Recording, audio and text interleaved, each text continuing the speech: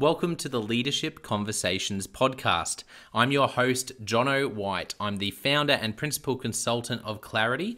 We are an Australian based consultancy that works with leaders around the world, and our passion is to invest in people to become everything they're meant to be in order to fill the world with healthy organizations that people love to work for and customers line up to buy from.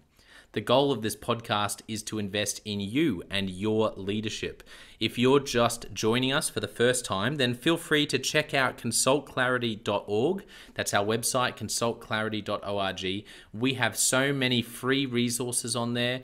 The most popular being our seven questions on leadership series. We've had more than 1,500 leaders from around the world in all different sectors give their in depth answers on leadership, what books they love, what they found most challenging, uh, the most meaningful stories, how they how they structure their time through the day. That's free, so go and check it out.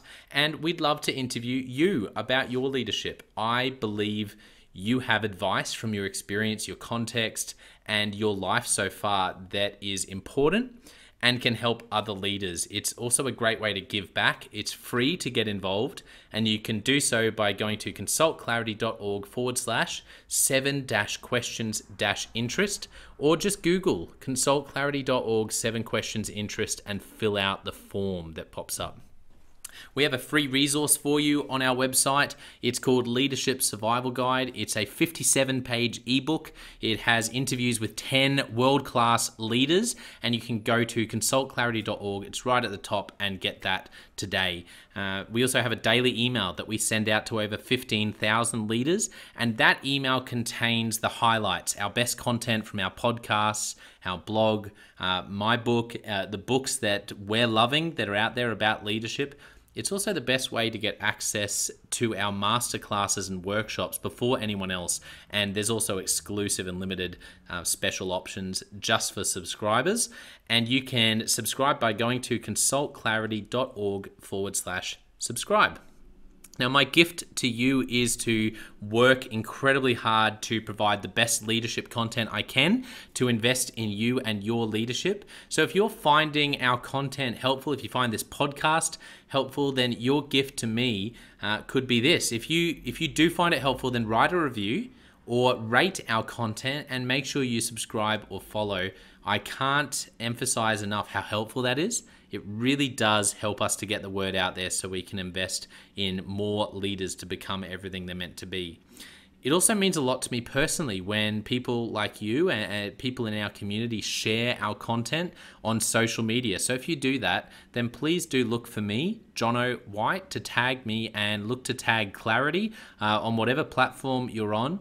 And our team, including me, I, I'm always looking to see when people have mentioned us so that I can engage with you and also we look at sharing content. So if you if you write something about something we've done, there's also a good chance we'll share that with our followers. So if you could do that, that is a massive massive help as we try to invest in as many leaders as we can around the world. Last of all, you can check out my book about how to deal with difficult people even if you hate conflict. It's called Step Up or Step Out. It's available on Amazon. You can just look up Step Up or Step Out Jonno White, or you can go to store.consultclarity.org forward slash book and check it out there. I have coached leader after leader after leader, and in more than 50% of the sessions, this topic comes up. How do I deal with this person? I'm finding it really difficult, and, and I just want to find a way that doesn't blow up to do a really just to have a difficult conversation to lead them better. How do i do that? There's a three step process that i outline in this book that i believe can help you. Okay let's get into today's episode of the leadership conversations podcast. Enjoy.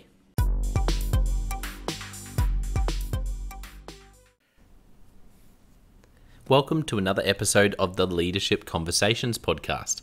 Today's guest is Bill Miller. I'm going to get Bill to tell us in a moment about his book, uh, which has won a couple of awards. And uh, Bill is an advisor, a consultant um, to CEOs, and, uh, and a coach as well. Welcome to the podcast, Bill. Oh, thank you very much, Jonno. It is a pleasure to be here. Thank you for having me. Yeah, no, I'm really excited to have you on and to chat with you. First of all, tell our listeners about your book and a little bit more about what you do. Absolutely. So as uh, as John mentioned, I I am an author, published author. Of the book The Rookie CEO, You Can't Make This Stuff Up, was published in October of 2020 and recognized as one of the top six books for beginner CEOs. So in uh, July of last year. So that's pretty good. And uh, I'm also an advisor and consultant to CEOs of small medium businesses and vice presidents who work for those CEOs who want a little bit of guidance and help on how to get around challenges. So that's kind of what I do these days, and uh, I love everything that I do. Uh, love technology. I'm primarily in the technology space and have been at the senior level of startups, three startups from early days to 40 plus billion dollar multinational companies. So I've been uh, senior level at all these different levels of companies and can play the politics and although I don't love it. uh, and I just enjoy helping people. That's what I do today. Just love it. Wonderful. Well, yeah, thank you for that overview.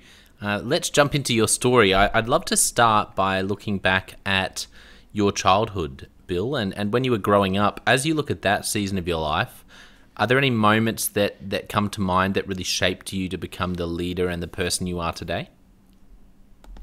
Absolutely. Well, like a lot of people, I think uh, my father is probably my biggest influence when I was younger.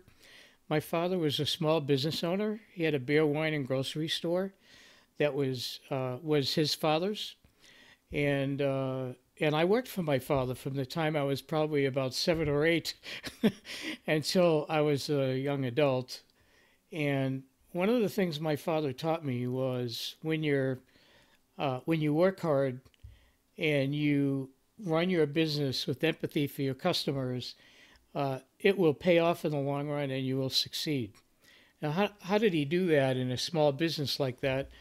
Uh, he, you know, he worked 12, 14 hours a day, seven days a week, which is interesting. But, you know, in the old days, in World War, my father was a World War II veteran in the U.S. Army. And one of the things that he did learn was uh, people can't always afford everything on any given day, but they need things like milk or in those days back when I was younger, cigarettes or whatever it was that they needed. my father would extend credit, unofficial credit. There was no credit cards back then. Uh, he would just write it on a piece of paper, clip it, put it on the shelves behind the register, and people would come in and pay him when they had the money, when they get their check, whether it was a Social Security check or a work paycheck. And the thing that was interesting is he never let anybody starve. He always helped everybody. And so he showed me the hard work and the empathy really created loyal customer base. So when you think of that as a foundation, it's pretty amazing to me. Uh, never even thought of what customer service was until way later in my career. But that's kind of what he was. He was amazing when it came to customer service. So, and then the other thing growing up, I played uh, I played a lot of sports. My life is built around from when I was a kid, built around sports. Mm. And uh, you know, in the U.S. here, we're crazy about our professional teams. And since I come from the Boston area, I'm a fan of all the Boston teams. But I, but when I was a kid, I played baseball, little league, and one of the things that I think was fortunate for me is I was on teams that were winless, go through a whole summer without winning a game. And I was on teams that were undefeated and never lost. And I had some great coaches that really taught me uh, how to win and how to lose gracefully without really losing your cool. And those really prepared me for later on in my life because life is full of ups and downs, as we all know And those types of things really helped me, and those are the moments probably that stick out the most to me. Yeah, thank you for sharing that, Bill. I'm interested to hear a bit more about your dad. Are there any are there any moments that come to mind? You, mentioned how he treated people and wouldn't let people starve with uh, with the business that he ran. Um, are there any moments that come to mind where you saw him deal with a situation, or it's just stuck in your memory the way that he handled something in the business or in life that, that really inspired you? So, so as I said, when I was a little kid, I used to go to work with my father. He had to drive in to the markets to buy all the wholesale stuff, and he had a pickup truck, but with a, a back on it, you know, like a, because of the lousy winters in the Boston, New England area, uh, he had a cover on the back of the of his truck, and I used to go with him, and he used. I learned how he built relationships with all of his suppliers. so he used to go in and he'd get the best meat. He, you know, he was a butcher as well, right? So he'd get the best meat. He'd get the lowest prices. He just, I just watched him negotiate with these people, and you know, he he would meet them and have a cup of coffee, and it just watching my father in action was, you know, because he wasn't this smooth CEO kind of guy that runs a big company he was a small business owner that had to feed his family. There was four of us, my sister and I, you know, mother and my father. He had to feed us, and you know, we weren't wealthy by any means, even though he was a small business owner. But he was a very good negotiator, very good schmoozer, and it was just those styles that I think, uh, watching him and remembering all of those moments, which still cross my my mind on occasion. Uh, those are the things that stick out. So it, mm. there was a lot of great qualities that my father brought to the table. Yeah, that's wonderful. Thank you for sharing about that. Uh, so as we fast forward, I always love asking about the first leadership opportunity, or sometimes there's a couple that, that come to mind. It might have been in sport, it might have been when you were little, it might have been when you were a bit older in, in a first job. But do you remember the first chance you really had to manage people, run a project, or, or, or lead something? Yeah, so uh, let me just say that I love this question, and, and I'll tell you why.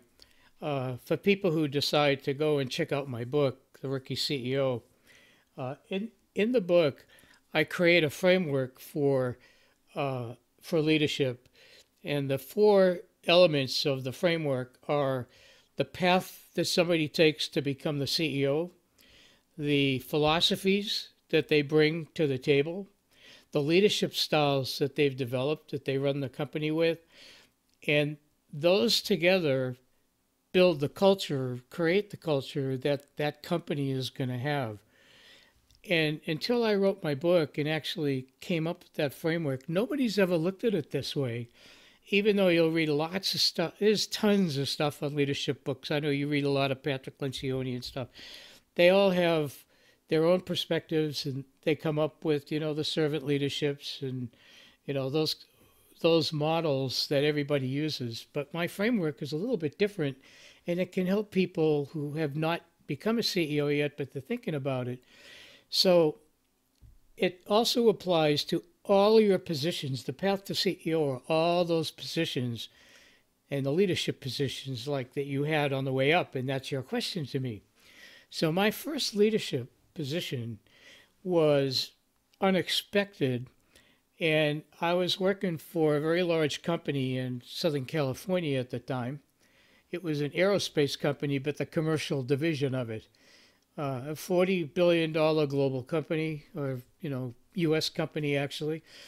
And I became a director of a group, an offsite skunkworks and that it was a replacement for somebody that the company was firing. And so that was my first leadership role, and it was really kind of interesting how it happened. But all of a sudden, I have, from being just an individual contributor, I became the director of this team, the Skunkworks team that was developing new technology. And I kind of knew all the 16 people that were on this team. It was 16 people in an admin. And uh, I didn't even know where to start, but I, you know, I just, everything I had observed and read up until then became my kind of like my guidebook.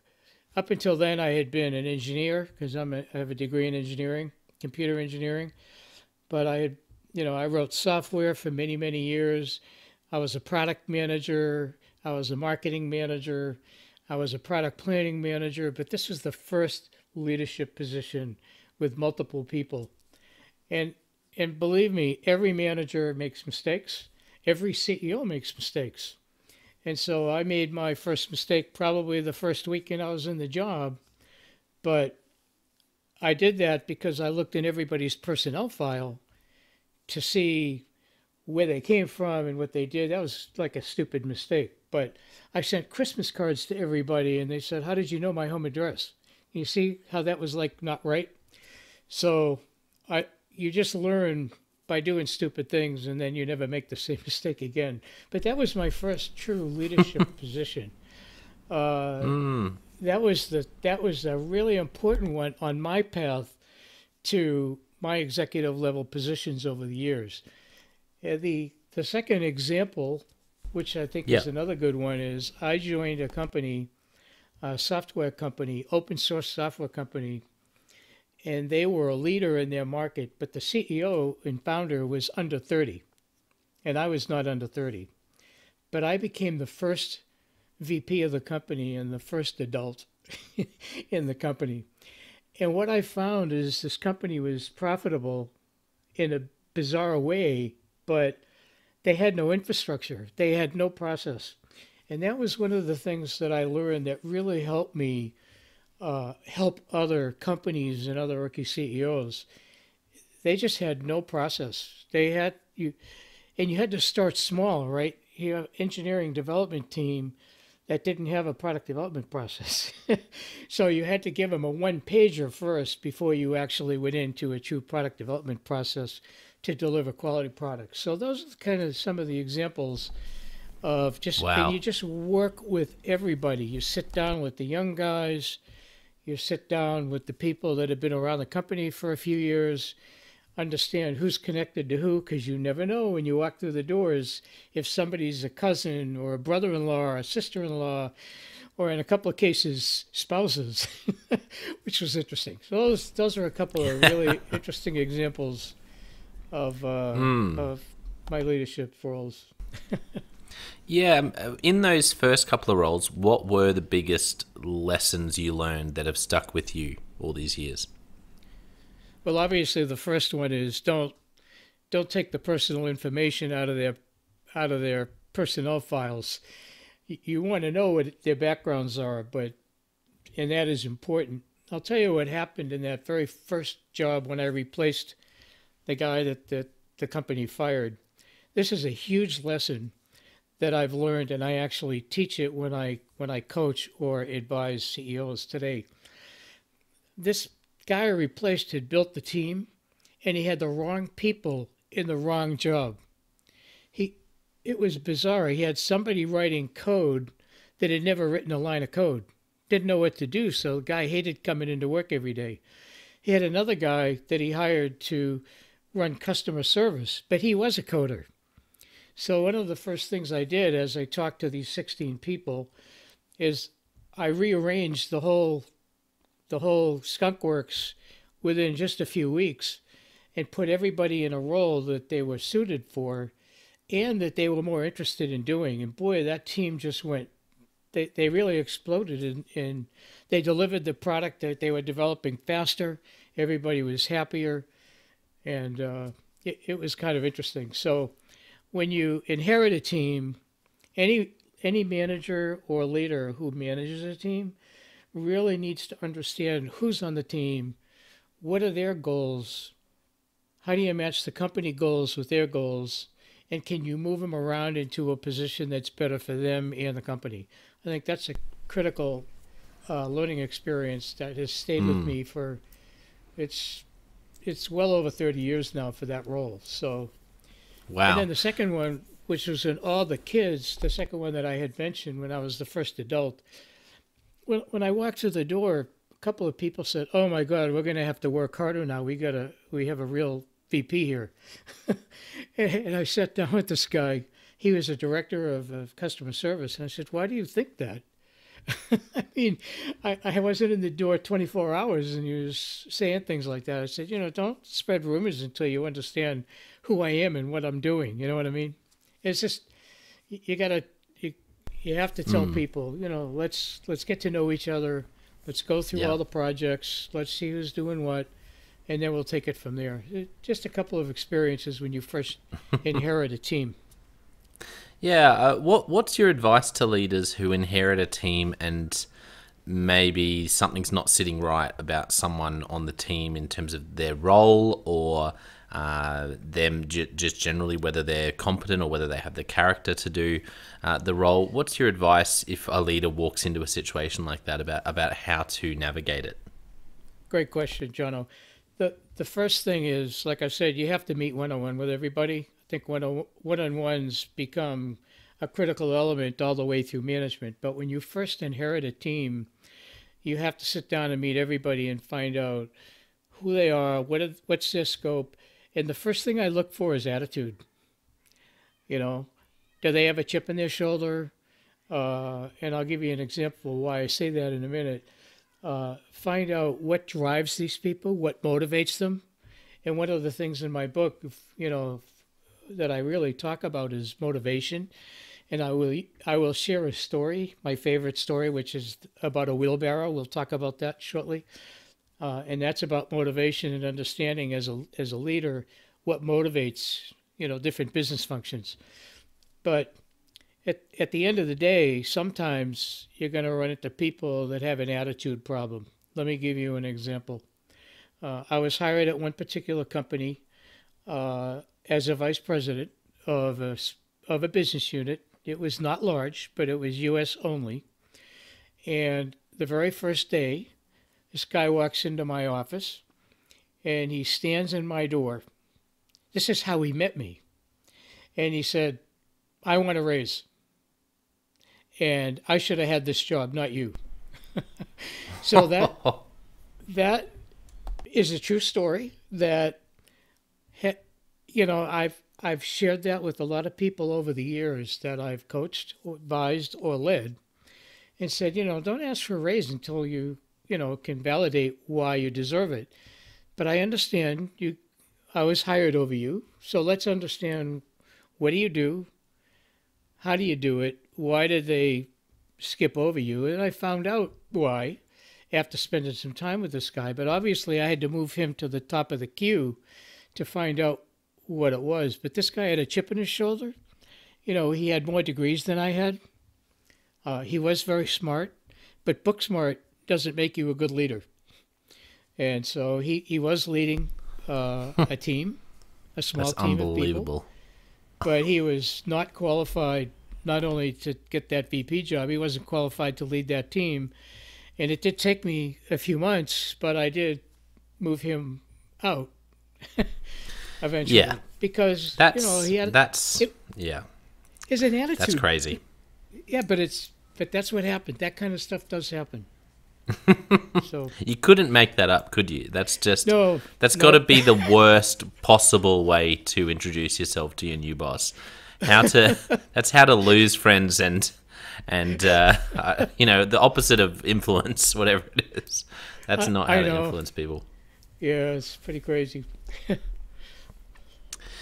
so, as you reflect on your career, Bill, I'm interested to know if if there are any aha moments you can share with us where other sort of turning points where the penny dropped, where something comes to mind where you watched someone else lead or you had something happen yourself as a leader that has really stuck with you, you learned a lesson that you'll never forget, or uh, any any aha moments as a leader that come to mind? Oh boy, aha moments. Oh man, well I've I've used a couple already. um, all right, so this is a great place that I can insert my wheelbarrow story. This is an aha moment. Um, yeah. I was in a startup in Silicon Valley, and the CEO, rookie CEO, who in the book is the deal maker, because he was a former sales vice president of a very sizable multi billion dollar company before he became the CEO of our startup. And I was vice president of marketing and product management and we had launched the company and the products at back-to-back trade shows. We did it two separate ways because there was technology, core technology, and then there were the products. So there's the company and the core technology, and then there was the products a month later.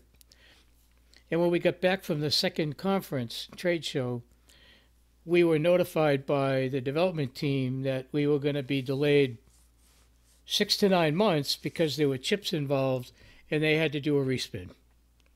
So the CEO said, Look, Bill, here's what I want to do. I want to get a wheelbarrow, put $100,000 in the wheelbarrow, roll it into the conference room with all the engineers, there's about a dozen engineers there, and say, This $100,000 is yours if you can deliver on this date.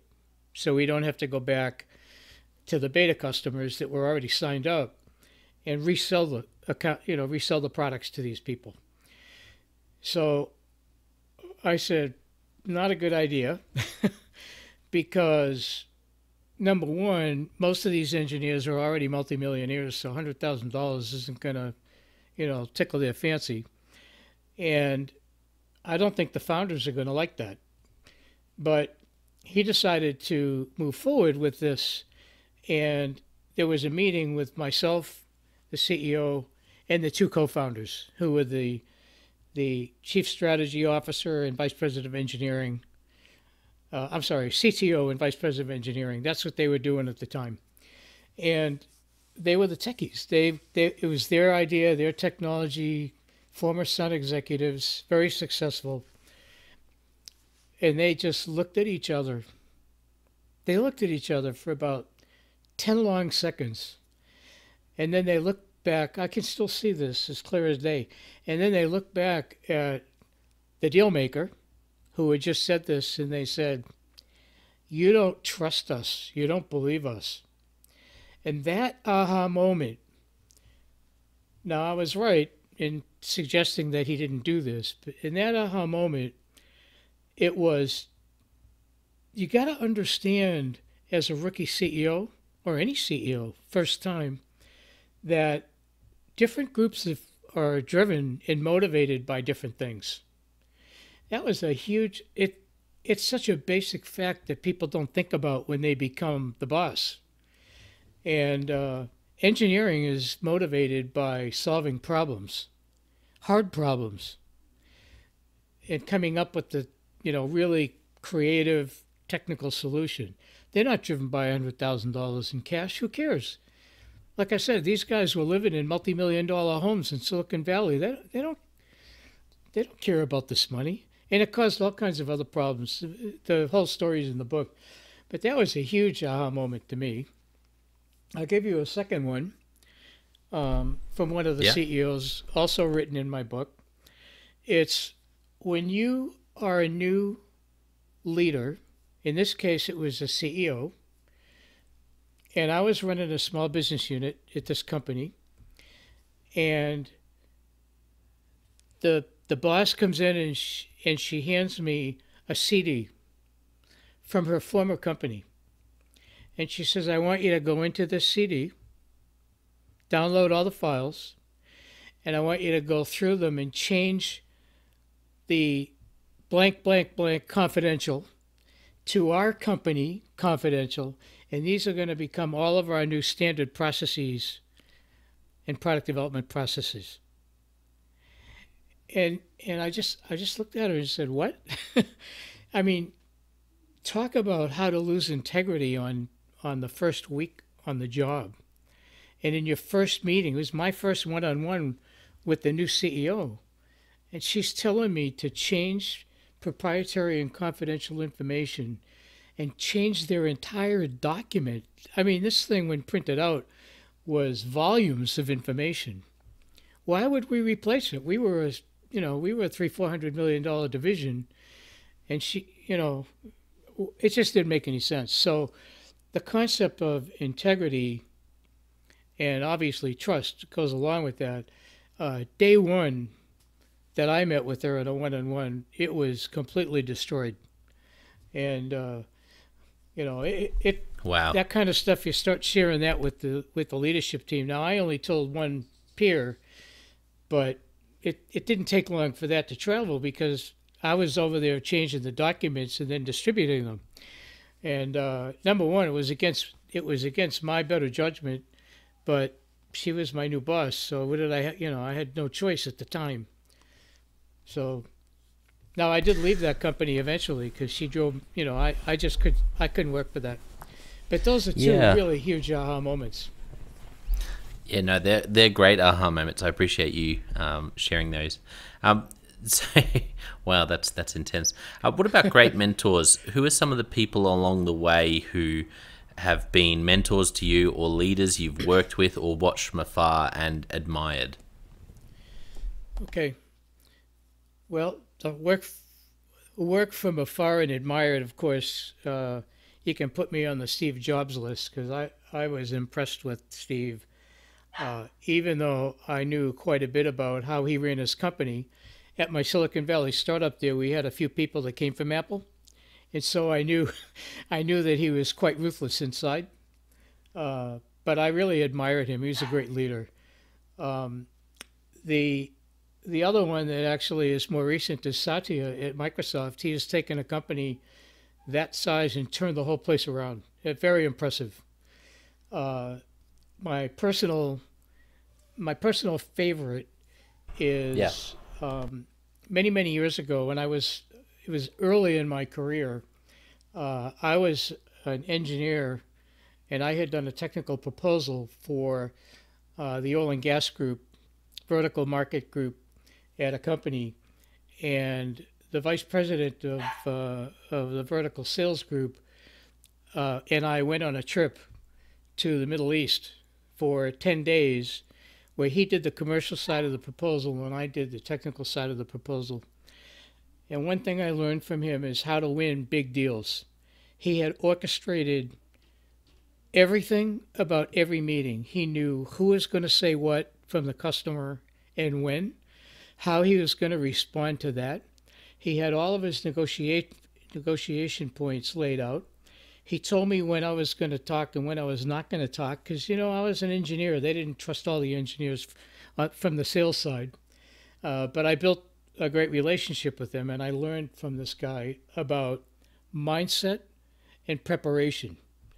And so the best salespeople I've ever worked with know everything about their client, all the players, who's going to say what, who's going to do what, and that was the learning from from this guy. His name is Dick, and uh, he's since wow. retired. I know that, but he was a great mentor for me. Uh, and I did go to work in his group. I I kind of broke a, a rule in that particular company.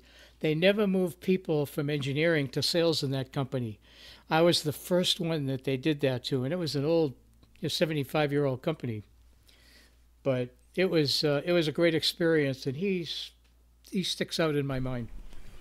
Yeah. Um, so help me understand a bit more about how he did those deals. So what sort of deals are we talking about? Um, that that's because I think there'd be a lot of leaders leaning into that, going, "Oh, that's that is a valuable skill because that's in, if you can." if you can understand how to do that, what you just described, how to really create and run a great communication around a, around a deal that, that the people on the other side go, wow, this is great value and, and feel uh, feel very warm towards you and feel like there's a great value in what you're putting putting uh, you know together for them. That that's a game changer for for anyone in, in business. So tell us a bit more about how he did that. Excuse me. Sure. So so one of the things that that I learned when I first got put on this team that was going to work on the proposal. So, Matrix Corporation, and so people from different groups would be assigned to a project team. And this was a sales project. And so, Dick would call uh, a kickoff meeting, and there was a project manager involved from a different group, and there were actions and names by every action, which is a typical project management this is way before Microsoft Project time, so this was all done manually, really, back in these days. But the one thing that Dick, Dick did was he, in all of the early meetings with the customer where we got put onto the RFQ process, because we're responding now to a request for proposal, RFP.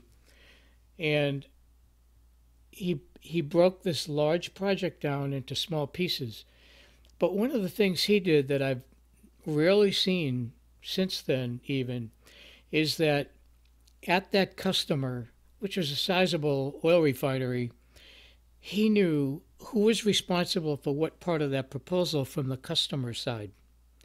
So, who was responsible for the technical aspects of the oil, you know, the refinery process? Who is responsible for the IT, the information technology side?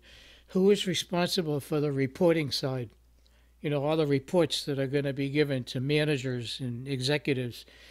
And there were probably 30 or 40 major players on this multi-million dollar deal. And this is this is back in the 80s.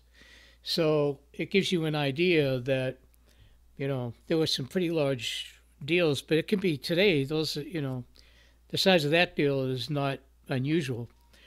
But the fact that he knew and prepared for who and every phone call, and then when, when just he and I actually went to the Middle East location, and then there was a local rep who came with us, and the three of us yeah, we hung out with the customers because we were there for 10 working days. But the fact is that everything was orchestrated. Nothing, no stone was left unturned. If they do this, then we do that. If they if they come back and say this, then we go down this path. And it was a flowchart that really left no stone unturned. And so to me, it was about mindset that he was going to win this deal. And then, two, preparation, where nothing was going to stop him and he would be prepared for every aspect. I, I really see that in the, you know, since then, even in large deals at most of the companies that I worked for, I was, I was always the sales marketing product management side. Um, but I wasn't ever the sales vice president, if you will. So I never owned that portion of it. I owned part of it. So I tried to repeat what what Dick did for me and for the company back then that I was with. Um, but I didn't own the whole process. He owned the whole the whole deal, and I was one of his key team members, and I knew when to say nothing. In fact, he even called out, "Look, they're going to walk out of the room when we get to this point." they're going to stand up and excuse themselves and say, We need an hour. He called that back at the home office. he said, This is what's going to happen. They're not going to like this. Wow. But they're going to, going to come back, and this is where we have elasticity. But, but think about all the elements that go into that. So that's. Oh, you want to be a that's successful incredible. leader, you got to understand all of those little details. that is a, uh, a an incredible ability to read people, and uh, that's that's astounding. Um, what about Steve Jobs? You had people who came from working with him. Were there any stories that you heard, partly or, or completely true, but anything anything you heard about how he led that really struck you as particularly genius? Oh man. Well, you know, I'll forget the public stuff. There was only one story that I remember. Uh, the guy who was running our uh, hardware design technology, who was involved in the uh, Lisa development, uh, he told us at the startup that Steve didn't really understand a lot of that the the design elements. And so he Steve had to learn how to decide who to trust and who is right and who is wrong. And he said if he if he thought somebody was pulling the wool over his eyes then he would potentially fire that person right there on the spot. So uh, you there was that and there was the secretive aspects of that particular company. That's probably one of the most secretive companies in the world uh, when it comes to uh, different groups within the company can't talk to each other. That started early on, and uh, one of the companies that I was a VP in the last several years, Apple was a customer, and uh, I can vouch for the fact that uh, they only people working on a certain project can know about it. Not everybody can learn about what's going on because they're too high, you know, high visibility Mm. and too competitive. So, but that story, Yes. he he he gave us that story. He watched a couple of people get fired back then, and that's a long time ago. So Mm. it was 20 years ago that I was at that particular startup, and that Wow. particular individual who had worked for Scott McNealy at Sun, and also uh, for Steve. So I got to hear a couple of those stories. Pretty interesting uh, stories. Yeah. I mean, one of my favorite books of all time is the Walter Isaacson biography of Steve Jobs. I I just love it. It's one of the books that had me laughing out loud just at the, the different stories about how uh, yeah how he led and, and definitely not perfect. And there's you know I wouldn't I wouldn't uh, advise everything he did, but I think you can we can learn a lot from him. Um, so yeah, no, that's that's great. Well, let's jump into Leadership Express, Bill. I've got a few questions to ask you. Are you ready? Sure, go ahead. Okay, so the first question is uh, I- I'm interested to know is what's a book that you've gifted to other people? And you can remind us again about your book, but then maybe give us another one as well. Because I know normally the book, when you've written a book, you know, as an author, often your own book is the book that you'll say, hey, this, this might help. But yeah, so tell us again about your book and then what's another book that you've gifted to other people? Okay, so uh, my book is The Rookie CEO. You can't make this stuff up. And it's, it's an anomaly, but I worked for nine first time CEOs in a row. And I know that's hard to believe, and it's kind of the luck of the draw. And when I decided to write the book, it was after that first aha moment that I told, well, the second aha moment that I told you about, but um, it's it's designed to be both entertaining and educational. Uh, it's not a big book. It's a short, kind of a short read. But the fact is, uh, I build the, the framework around it on to learn how to, you know, the type of leader that someone will become. So that's my book, and I do give that away, and I sign it. You know, when I go to, I do a, a CEO Insight panel at at a trade show. It'll be the second time in June, and I sign my book for people that hang out after the panel. So I do give that away. But over the years, uh, I think I mentioned my product management and marketing background that I had mostly. Um, the two books that I've given to my team uh, over the years, my Bible is Crossing the Chasm, Geoffrey Moore. Uh, I've owned all three editions of his book. Uh, the first edition, I I kind of broke the hardcover spine. Uh, the sec the second, you know, the last one that I bought, the third edition, was the paperback, so it didn't matter if I broke the spine or not. Uh, but I've given that book to my team, and it's helped a lot of people in go to market. Uh, yeah, that's for um, that's that's great. So that's a book that you found most helpful in marketing. That is in product management, probably more than product marketing, management, okay. Both. Yeah, both Yeah? of those groups. Crossing then the, chasm. one- Yep, that is my favorite. That is my favorite of all time, by the way. And then Yeah. my second favorite was Guerrilla Marketing by Jay Conrad Levinson. Uh, so that's another book that um, I've given to my entire team because I wanted to do everything I could without just blowing money. It's Yeah. easy to spend money in marketing and product management. Uh, I wanted people to learn guerrilla marketing. So that's another book that gives good ideas that in brainstorming you can build around. So those are the Love two it. books that I've that I've done. Yeah, that's great, Bill. Uh, okay, next question. Right now, are you in the middle of any books? Are you listening to any podcasts? Are there any blogs or anything else that you're loving uh, watching, reading, or listening to at the moment? Well, to be truthful, I've been listening to your uh, your podcasts, and uh, they're I think I love the, the conversational style Oh, and very uh, kind. several of the people. So, and I've connected. Well, it's very good. So uh, that's one. So my quest for the best with Bill Ringle is one that it's a Yep. small business, uh, small business leader, uh, top fifty on uh, Apple Podcasts. So I like that one. He has excellent guests, uh, and I like John Lee Dumas, who's has a, a podcast called Entrepreneurs on Fire. It's hard to keep up with him because he does something every day, so I can't keep up with him 100%. uh, but they're excellent.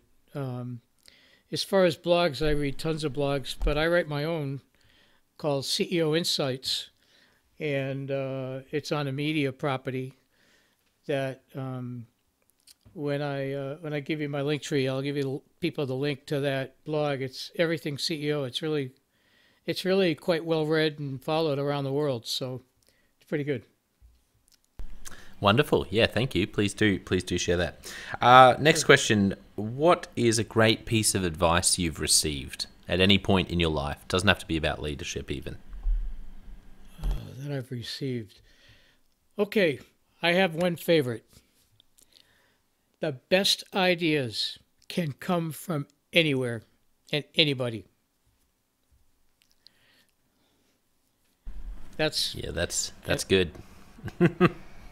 just because somebody may not be on your senior leadership team, or they may not be an advisor or a consultant, whatever, you're a junior engineer might have the best idea that your company has ever seen to improve or build a product. It just it just can just come from anywhere. Do you have any favorite quotes? Uh, once again, doesn't have to be about leadership; could just be about life in general. But any any quotes that you find yourself uh, repeating, or just are very close to your heart? Well, of course, you can't make this stuff up. Is one of my favorites. Um, I have a mantra that I use. Uh, that it's always easy for the person who doesn't have to do it and uh, I do mention that in the book. Um, but that is something that is very true. There's a lot of these CEOs, especially rookies who've never done this stuff before. Uh, they think it's easy to run marketing, or they think it's easy to run finance, or they think it's easy to do, you know, add a couple of lines of code to do something. But it's not. It it's a whole project. It, it's a lot of elements, and so these people, a lot of these rookies bark orders, and uh, I understand they're the boss, and everybody hangs on every word they say. Um, but they really should uh, talk to brainstorm with their team and the the, the top-notch leaders that they hire, and you know that they hopefully trust. And uh, before you just bark orders, I think that's a you know, it's not always easy. Believe me, it's usually the opposite. Yeah, so yeah. I just absolutely. wrote a blog too. I just wrote a. I do Friday CEO tips on LinkedIn. Last week I did. Yep. There is there is no easy button. there is no easy button. Sorry. Yeah, that's so true. that's right. Um, no, it's uh, it's so it's so true, isn't it? And uh, what about any favorite questions when you're sitting down with a CEO, when you're coaching someone, when you're with a team? Uh, do you have any favorite questions you like to ask people? Well, so yeah, I mean, one of the things that I always ask them is, do they have a system and a process to track uh, track the goals? And I, you know, and and a lot of times they don't. Um, I I personally use and coach uh, on 30, 60, 90 day goal planning, and I try to use SMART goals. And uh, one of the one of the things I write about in the book is it doesn't matter what kind of goals you use. You know, there's key performance indicators. There's you know all kinds of different methods people use, but you got to have something that tracks the elements of what you know the deliverables of all the functions and key people and then you cascade those down to the different teams uh, the 30 60 90 has worked for me uh, over the years because it allows me to look at a quarter you know and then the 30 days and then there's you know i use a spreadsheet format for this actually but um, what keeps you up at night so the first question that I will ask is about the goals, and then the second question is what keeps you up at night. And then I get to really the hot areas that they're stuck in. And yeah, know, that's great. They're they're they're always something, and if and if any any CEO or even leader manager tells you I have no problems, there's nothing, there's no way you can help me. oh yeah. then I'll I'll keep asking things. You know, I I took a Xerox 101 uh, sales class way way way back, and uh, I wasn't in sales, but I worked with sales, so I, I took that. And one of my favorite questions that they taught me was, "Oh." if somebody says something, you look at them and you say, "Oh," and they continue to talk. You know, you just say "oh" until they finish what they were going to say. And so that's worked over the years. It's pretty, pretty incredible yeah. how well that works. No, that's a good I'll, one. I like that. It's a good verbal yeah. cue to help people continue. So there are all kinds of different methods, but that's one of them. so, yeah, I love it. Um, okay, last question, Bill. This has been this has been uh, great. It's been wonderful to, to hear your thoughts. Last question: If you could only give one piece of leadership advice to a young leader, what would you say? Oh boy, there's so many. um, I would probably say, be self-aware. Uh, people listen to everything you say, watch everything you do, and you you have especially today where there's a lot of meetings are on video. Uh, you got to be careful having a side conversation. You got to be careful what you say in the chat, but you just be self-aware of everything because you are the head honcho and everybody cares what you say and and you might be thinking out loud, but mm. you know they they might think it's that they should stop everything and go do that, and that's yeah, that's so good. So you have to just be self-aware of everything around you. So good, Bill. Well, for those who have really enjoyed today and want to connect with you and, and find your book, can you remind us again where people can find you? So, all of my key uh, links are on my link tree and I, I, think most people are starting to learn what Linktree is. It's uh, uh, E-E slash Beeline Bill spelled out. So that's B double E L I N E B I L L. So, in fact, if you just do a Google search on Beeline Bill, you'll probably find that's my my Twitter and my LinkedIn and my Facebook and my website is beelinebill.com. But it's the link tree is it will have the connections to my book, which is available in all formats: audiobook, hardcover, paperback, and ebook. Um, and it'll take you to my website. It'll take you to my CEO Insights blog, and all my social channels. And please reach out and connect to me. It'd be great. Yeah. Wonderful, Bill. Well, uh, I want to thank our listeners for tuning in to today and make sure you go and check out uh, Beeline Bill and look up Bill's uh, book as well, The Rookie CEO. Um, and you know, don't forget for our listeners, I also have the Jonno White Leadership Podcast and the Leadership Question of the Day podcast, two uh, two other places where you can invest in your leadership. But I want to finish today by saying a massive thank you to Bill. Uh, thank you for being so generous with your time, for sharing great stories from your career so far, and some really wonderful leadership principles. Thanks for coming on the podcast, Bill. Well, thanks for having me, John. I really appreciate it and really enjoyed it. Well, I hope you enjoyed that episode of the Leadership Conversations podcast as much as I did. If you're joining us for the first time, don't forget to check out consultclarity.org. That's our website, consultclarity.org. We have so many free resources on there, including our seven questions on leadership series. We've had more than 1,500 leaders from all over the world in all different roles, in different industries, answer these seven questions on leadership. And leaders give these in depth answers around how they spend their time, uh, a book that's been significant for them. It's just a gold mine. It's completely free to access. So go to consultclarity.org and look for that. We'd also love to interview you about your leadership. I believe your experience, your life, your context means that you have advice on leadership that other leaders can learn from.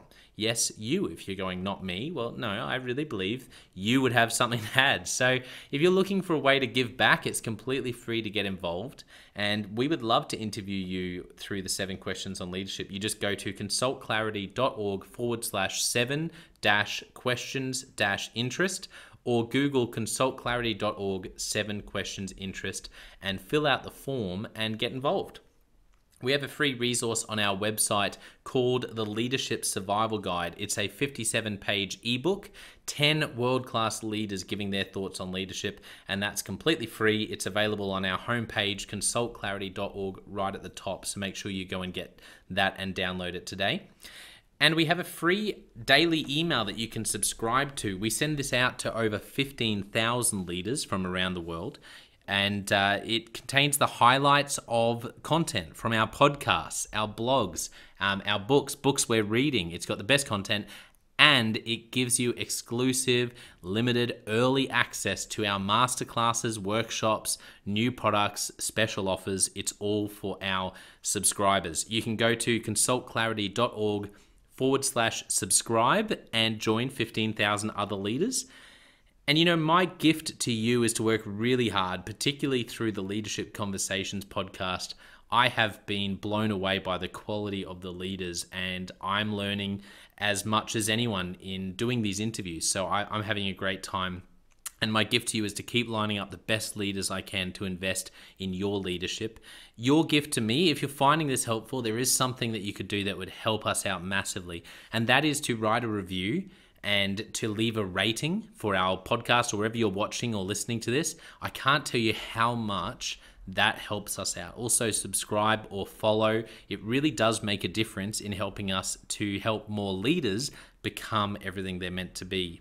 Another thing that means a lot to me personally is when I see our community share our content. So if you do share this or any other piece of content on social media, then thank you and, and please do that. And look for me, Jonno White or clarity and tag us in your post. Our team is always looking for posts to engage with from our community. And there's also a chance that we'll share your content uh, to go beyond and share it with our followers.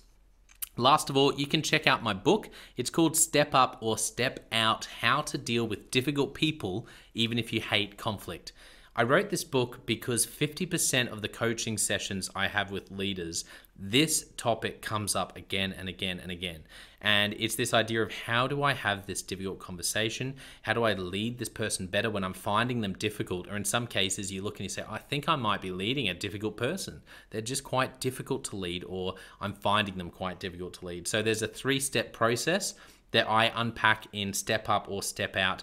And the amazing thing, and I've literally done this myself, and I've heard it anecdotally from other leaders as I've coached them, is that if you follow this process, you will see that person step up and change their behavior or make a decision, which is to step out some of the time. Uh, 95% of the time, people will step up or step out in just four weeks. And I stand by that. It's uh, you have to read the book to understand, but uh, I really do believe in it, and I've experienced it firsthand. It works. So you can go to Amazon, look up Step Up or Step Out Jonno White, or store.consultclarity.org forward slash book. Well, thank you so much for listening. We're going to be back with a new episode next time of the Leadership Conversations podcast. And I hope today has helped you to take another step towards becoming the leader you're meant to be. See you next time.